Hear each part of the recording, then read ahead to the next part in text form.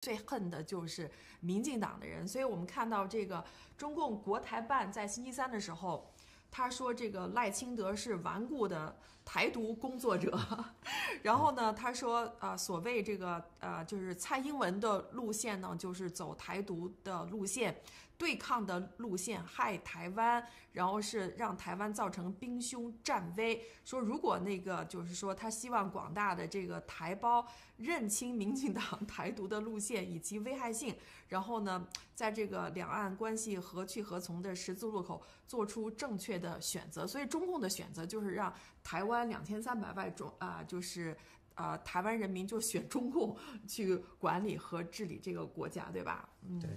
是的，那真真的是，呃，上次这个拜登那个见习近平的时候，还警告过中共不要介入这个台湾的大选。那刚才看到，无论是这个国台办呐，还有这个中共的军事啊，以及包括在网络上，还有中共的水晶，其实一直都是在干扰这个台湾的民意。其实我们看到，包括我们知道，就是有很多那个台湾的留学生在大陆上学。就连留留学生都是说，老师说你回去以后你要去投去投这个国民党，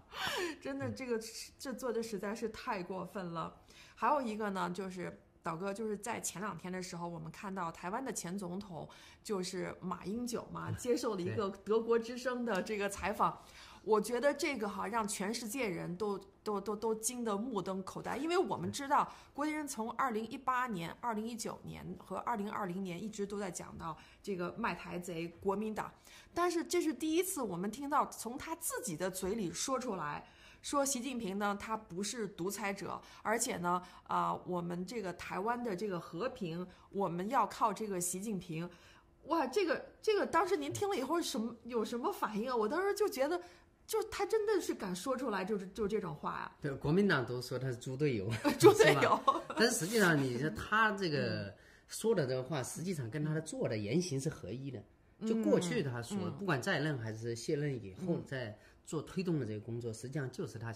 嗯，今天在采访的时候说的这个，他就是要去推动两岸去统一，嗯，是吧？他就要把台湾送到共产党的怀抱里去，这就是他们的目标。是的，所以这个马英九他呃，然后他还说，反正这个中共他们有呃军事有多么强大，我们肯定是打不赢的。所以呢，我们必须要跟这个中国共产党要和谈，我们才能够换取和平。所以后来就就像您讲的，连国民党都说他是猪队友。后来侯友谊也是跟他 党 对，赶快赶赶快切割。所以。